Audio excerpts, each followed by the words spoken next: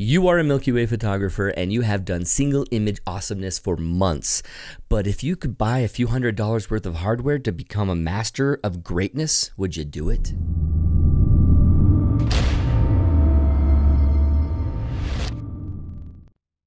Hey guys, it's Aaron King with Photog Adventures. Today on Astro Photog, we're going to talk about the benefits of star tracking versus single image photography. All of us have this entry level Milky Way photography that we've been practicing and getting better at, post processing those images, making sure that we captured them in a good enough way, you know, where you fully expose for the Milky Way. You haven't overexposed the highlights of the Milky Way, which is possible to overexpose it and go crazy where you can't bring detail out of the core and it just becomes this muddy texture of white instead of being speckled and beautiful. But we've also made mistakes sometimes where we underexpose it and we have to do so much post processing to bring that image out and get that Milky Way core and the rest of the Milky Way to really shine in our image that we introduce noise into our photography. So we've been mastering that, practicing that. Well, what if you want to become a master master, a master master of greatness? And I said a few hundred dollars. Would it be worth it? Would it be possible? It is, and it's because of star tracking technology. I want to show you some images from Eric Benedetti. Check out ericbenedettiphotography.com. The link will be in below. He's an amazing Milky Way photographer, and the reason why he's amazing is because he's taken the science of tracking the stars, something that a lot of people are doing, but not a lot of information is out there with, and doing his Milky Way photography that way, creating images like this. Check this out. This right here is a shot that Eric Benedetti did in central Idaho, 30 plus images images that were stitched together in a pano, and all of it was star tracking. How does it compare to another image taken, I think, the same night? Because see this aurora over here? There was this awesome KP6 Plus aurora that was happening out there. And it was uh, May, I think it was May 30th, May 27th, something like that. And it was a nuts aurora that was so visible and so bright. It was visible in southern Utah.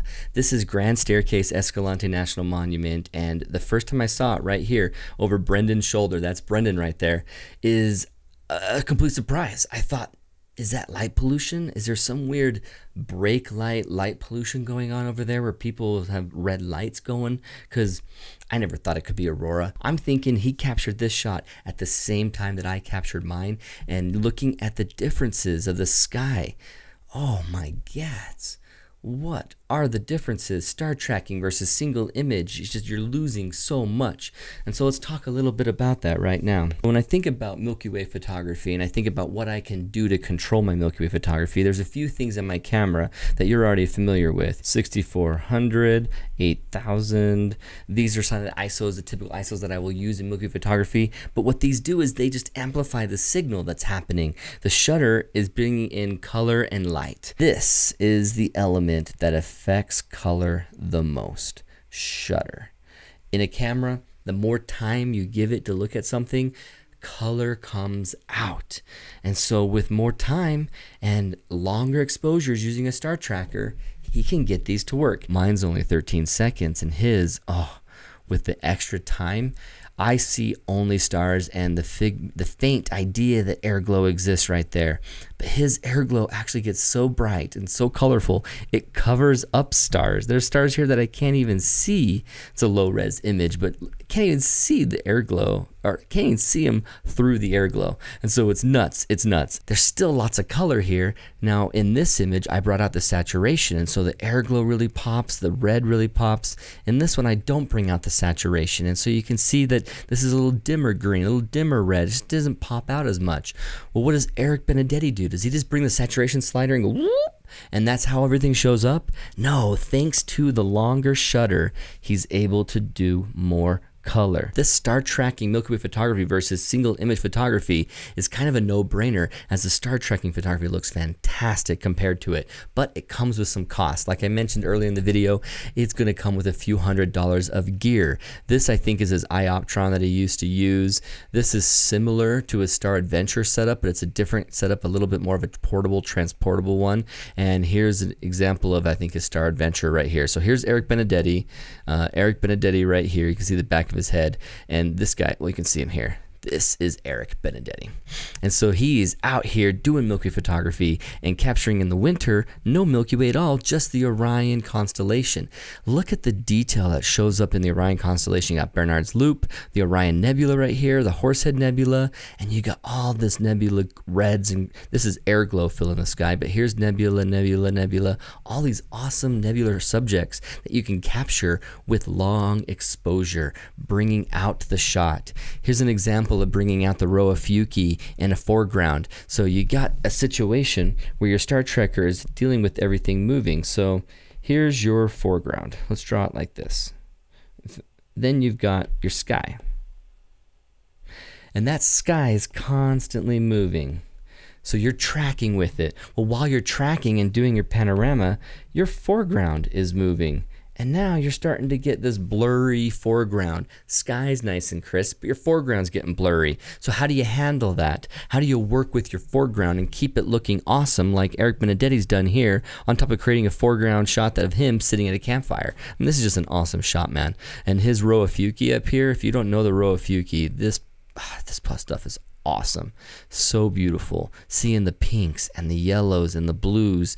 I mean, these little star nurseries that are happening out there that have all this color, they surprisingly all hang out in the same section of sky, even though they're different distances from us, and they just look beautiful all mashed up together. And so you got the Milky Way with all of its cool detail, the core, and then these dust lanes that are kind of fingers reaching up and touching the Rho of Ophiuchi. It is just a fantastic shot. Here's another fantastic shot the Rho of Ophiuchi and the Milky Way core. It is just a completely different game. Let me do the last thing I want to talk about is just the reality of what we're dealing with with Milky Way photography. You've got a Milky Way in wireframe, basically.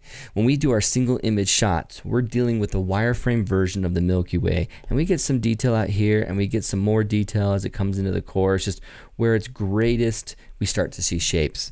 But when you turn on a longer exposure and use a star tracker, now all of a sudden you've got this color, this crazy color that's showing up.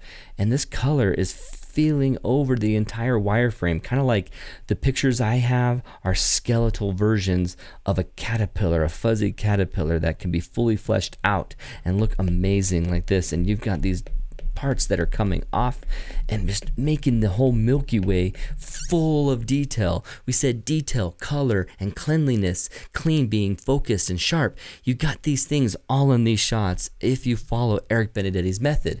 And so I've been talking about Eric Benedetti a lot about this and telling about the verses verses because we have an opportunity to learn from Eric Benedetti tomorrow. And I say tomorrow, I'm sorry about that. It is just the last minute notice. And so if you see this room? You see this area? This is not my normal studio. And the reason why is a longer story, but Aaron King has been gone from YouTube for the last couple months because I don't have my old studio anymore. And so um, if you follow the podcast or if you go to Facebook, you can see the information about my recent divorce. And this up here is a new office space that I have. And right here is where I'm at and getting set up. And so it took me a while to get everything just ready to go. And so I'm telling you guys on YouTube the day before. But it doesn't matter. If you capture this information in a month or three months from now, you can still see the entire workshop, watch the replay of it. You can buy it, it'll be online. So check it out. The link will be down below. But if you guys go to the link, you'll come to this page and you'll see that we have the workshop tomorrow. It's Mountain Time, 9 a.m. to 2 p.m., but we'll probably go a little longer than 2 as we're doing post-processing and Q&A. Eric Benedetti is a master at this photography, as you just saw all of his images. And last great benefit of star tracking photography is doing something like this. This is the Andromeda Galaxy. If you have ever seen the Andromeda Galaxy, it's basically this little fuzzy part that comes off of the Orion, uh, the Cassiopeia constellation. And so you've got this constellation that's a W over here on the far left. For Northern Hemisphere people, this is on the far left of the arch. And you'll see that little fuzz that little fuzz ball right there is the Andromeda Galaxy. And if you could do star tracking, you can see it like this. And I mean, this is not a dark sky sight. He captured this. If this is the exact same one he told me about, he captured this from his backyard in Salt Lake. Salt Lake City, crazy light pollution, and he captured this much detail of the Andromeda Galaxy. And he took 40 images and stacked them together. This takes a lot of patience. He captured this image, yes, and took hours to capture all these images together and make them look great. But then 30 plus hours of post processing later, and it looks like this. But man, it's worth it.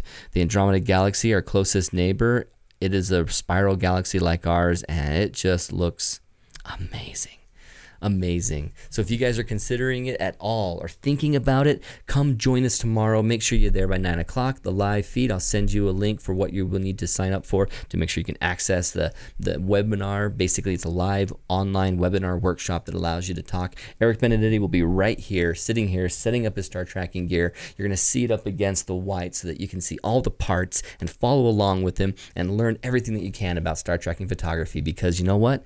Star tracking photography is such an amazing improvement on single image.